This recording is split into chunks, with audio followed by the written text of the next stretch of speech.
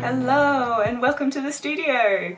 My name's Liz Gridley and I'm an oil painter from Melbourne, Australia and this year we're yet again taking on the Oiltober Challenge. That is we're painting one oil painting a day for every day in October in 2021 as started by Lena Danya on YouTube. This year, like last year, I asked you guys to supply the prompts and through Instagram, Discord, YouTube and Facebook you've given me so many amazing ideas. So now all we have to do is chop them all up, stick them in a pot so that way I never know what I'm going to paint until the day I pull it out of the pot. We've got some paper to prepare as well and then we get to paint our very first oil Oiltober for the year. So let's get going, I'm so excited. To start with, we've been supplied again with some beautiful dodgy paper made right here in Melbourne by Dodgy Roger.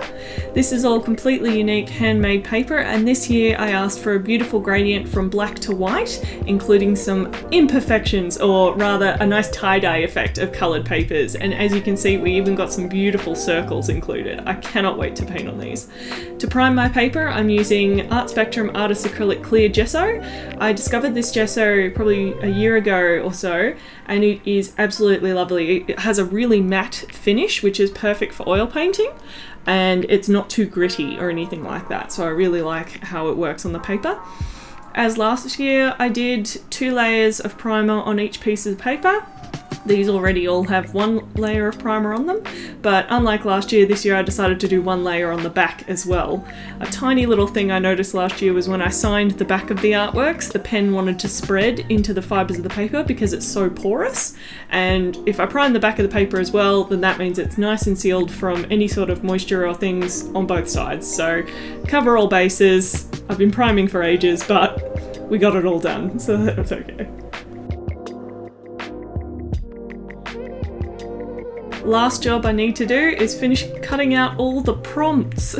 Seriously, I cannot say thank you enough to everyone on Instagram, Discord, YouTube, and Facebook for submitting all of these amazing ideas. They're absolutely awesome. There's a huge range in there, I'll admit, and a fair few I've already sort of eyeballed as I saw them come up in notifications and I really want to paint them so we'll have to see how we go. In total we ended up with 114 prompts so thank you so so much.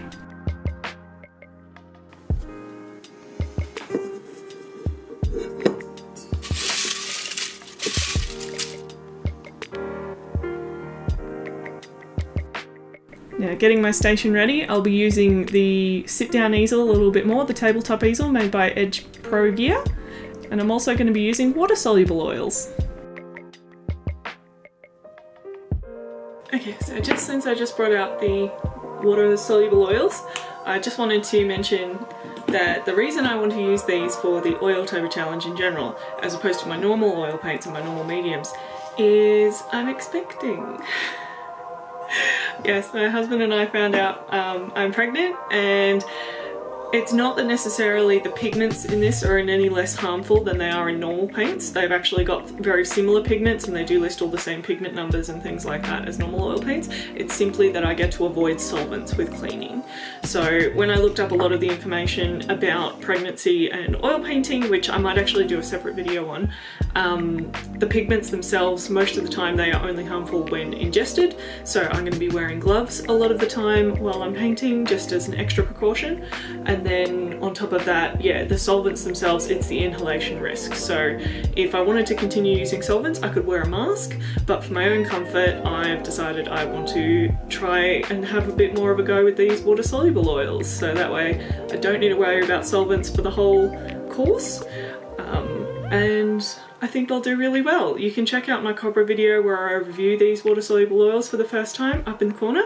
But yeah, I'm excited to go forward with these and we might add a few colours as we go. We'll see. Alright, let's get back to it.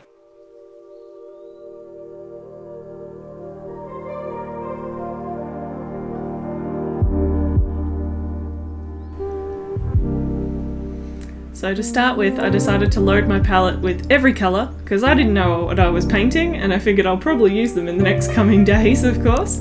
And we're just using the quick drying medium, which I really enjoyed using when I painted the hummingbird in my review video and in general I do find I get a problem of too many wet paintings around during this month so quick drying is probably a good idea. Now for the first prompt. I couldn't believe it when this came out. It's expecting! I was just talking about being expecting and that's what I pulled out of the bucket. Oh my gosh. Um, I went for a walk with Dipper, and after that, I decided I didn't want to do something like painting my pregnancy test or something like that. I, I wanted to be a bit more broad. And the previous day, I'd actually watched here in Melbourne, we have a webcam on one of our office buildings in Collins Street. And the reason there's a webcam there is because we have some local falcons that lay eggs every year, and you get to watch them hatch. And the previous day, I just watched them hatch. Unfortunately, there's no good reference photos of the falcons, so I shifted gear a little bit and did another little creature hatching from an egg.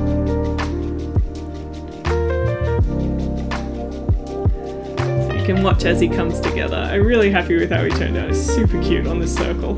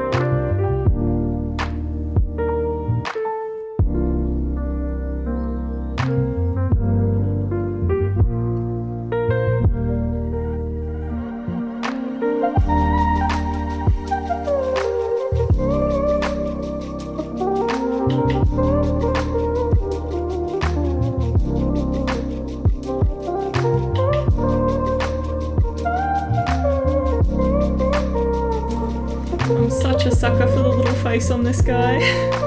I actually really enjoyed doing this painting because I got to chat to my best friend on the phone the whole time and it came together really quickly. I was quite happy. I think I ended up spending about two hours on it, but that's including breaks where I was patting Dipper and things like that and answering the doorbell. Um, I've just added the white at the end there just to bring the face out from the grey paper and I super love how it gives him a little glow, so super super happy with this first one. I'll be painting on the circles maybe every five or six days and in between on the rectangles.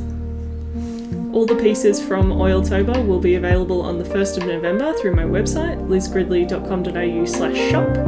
If you want to keep track, definitely come join me on Instagram where I'll be posting every day what I paint. Here on YouTube, I'll probably do a video every five or six days just showing what I've been up to, but I'll also try and have a go with shorts, so stay tuned and don't forget to wash your brushes. In water this time!